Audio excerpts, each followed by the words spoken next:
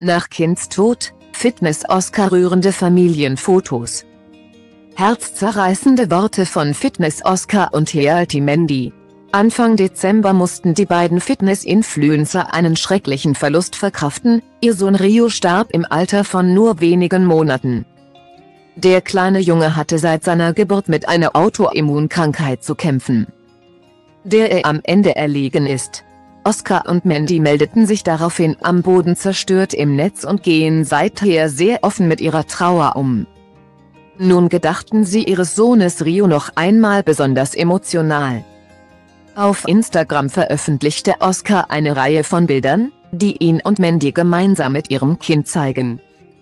Heute, zwei Wochen nachdem das Herz unseres Sohnes aufgehört hat zu schlagen, werden wir Abschied nehmen von Rios wunderschönem, süßen Körper, gab der TikToker preis. Seine Seele werde das Paar aber immer begleiten. Oscar blickte auch auf die intensive Zeit zurück, die sie als Familie erlebt haben, dadurch haben wir drei eine besondere Bindung zueinander aufgebaut. Die nichts und niemand jemals zerstören könnte, auch nicht der Tod. Zudem bedankte er sich in seinem Beitrag bei allen die heute an Rio denken. Lebe wohl, kleiner Engel, deine Mama und dein Papa werden dich immer lieben, fasste er abschließend zusammen.